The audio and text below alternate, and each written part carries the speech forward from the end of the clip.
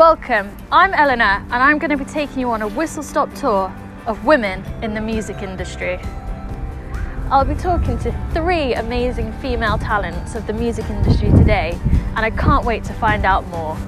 First up we have Riva Taylor, a singer-songwriter. Her music is described as adult contemporary. If you love dynamics and beautiful lyrics, take a listen. She'll be talking to me about how the music industry has physically changed and how it has, affects her as an artist. Tapes. Have you seen anything change within the industry? It has changed massively. We have so much music now. We had loads of music before, but really all we knew was the music that we saw.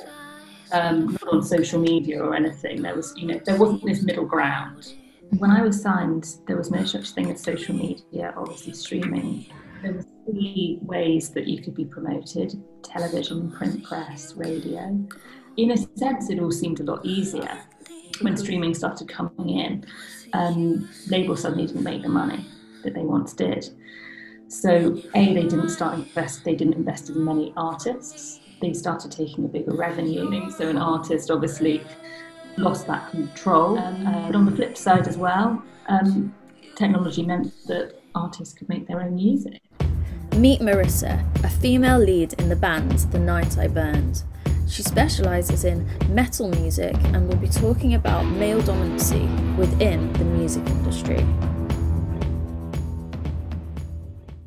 Like um, the metal industry is like a very male dominated genre then, would you say? It is. Yeah. It's like, even, even for the fact of listeners as well. It's like the amount of times where I've heard like, "Oh, women can't do metal screaming," and I'm just like, "Bitch, hold my vodka and coke." My, my favourite story is that. So we overheard um, someone who's like, "Oh, women can't scream." He was wearing a Nightwish t-shirt who had a female vocalist.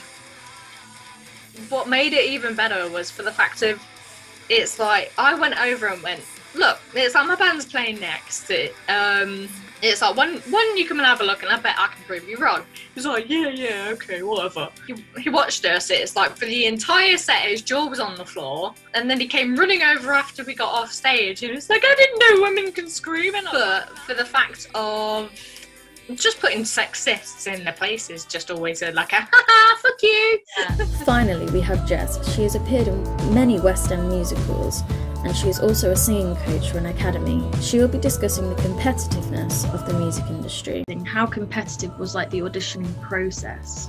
I'm not even going to sugarcoat it. It's horrible. But you've got the mums floating around like and going, um, "My daughter's the best. Excuse me, I need some room for my daughter. I need to be able to do her hair." This industry looks so incredible, but I was like, "Is this what they're really like?" Like these these aren't people. I hope this documentary has given you an insight into women in the music industry. Take a look at the three women I've interviewed and go and check out their music. They're going to be making some noise.